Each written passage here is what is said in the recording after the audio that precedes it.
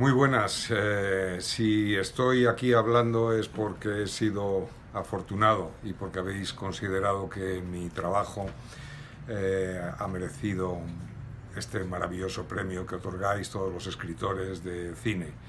Eh, no sabéis la alegría que me da, sobre todo que seáis vosotros especialmente los que, los que votéis.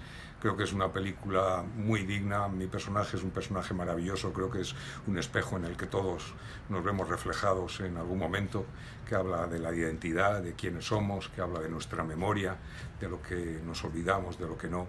Y es un un personaje que me ha dado muchísimas alegrías y que creo que se las da al espectador porque le trata con mucho respeto Víctor Erice y, deja que cada uno mm, tome sus decisiones de lo que está viendo. En cualquier caso, muy agradecido y siempre vuestro. Un beso, gracias.